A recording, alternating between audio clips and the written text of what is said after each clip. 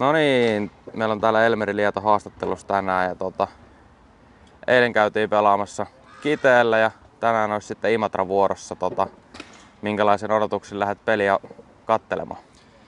No kyllä mä ainakin odotan, että niin lähdetään sisäpelissä parantamaan. Et se oli eilen aika, aika heikko, ettei saatu hirveästi niin kolmostilanteita, vaikka oli hyvä keli. Että se on muutenkin ollut vähän meidän heikkous nyt, että ei ole sisäpeli pyörinyt. Ulkopeli on ollut hyvä, että luotetaan siihen, että ulkopeli on tänään hyvää ja sisäpeli paranee, niin eiköhän sillä pääse pitkälle.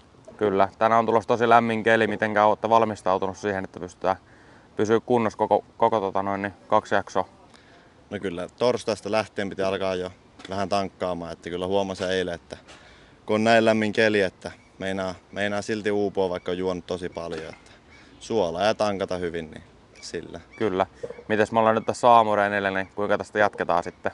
Viideltä alkaa peli, mutta mitä tapahtuu välissä?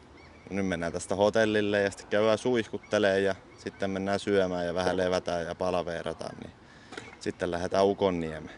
Kyllä. Onko tota kotikatsojille terveisiä? Terveisiä kaikille. Kattokaa peli. Hyvä. Kiitoksia ja onnea peli. Kiitos.